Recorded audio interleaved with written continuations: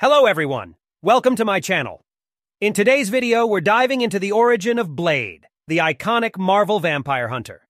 This is the first video on my channel, and I'm excited to share this incredible story with all of you. So, let's get started. Blade, whose real name is Eric Brooks, has a unique and captivating origin. He was born in a tragic circumstance when his mother was bitten by a vampire during her pregnancy.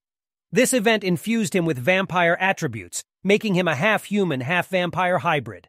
As Blade grew up, he discovered his unusual abilities. His enhanced strength, speed, and agility, coupled with his immunity to vampire mind control, set him apart from ordinary humans.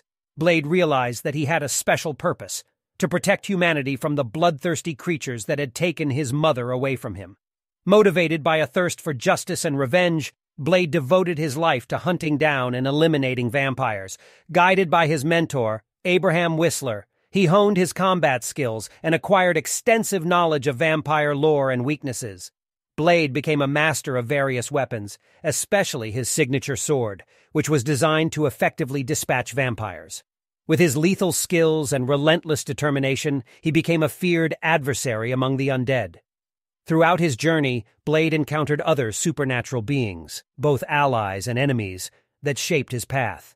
He crossed paths with powerful vampire lords and even formed alliances with fellow vampire hunters and superheroes, fighting alongside them against the forces of darkness. Blade's story has been told in various comic book series, captivating readers with its blend of action, horror, and drama.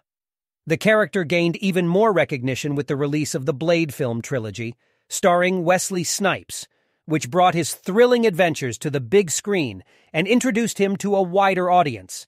Now, with the announcement of a new Blade adaptation in the Marvel Cinematic Universe, played by Mahershala Ali, the character is set to reach new heights of popularity and captivate audiences once again. So, ladies and gentlemen, this concludes our exploration of Blade's origin. I hope you enjoyed this first video on my channel. If you did, please subscribe and hit the notification bell to stay updated on future content.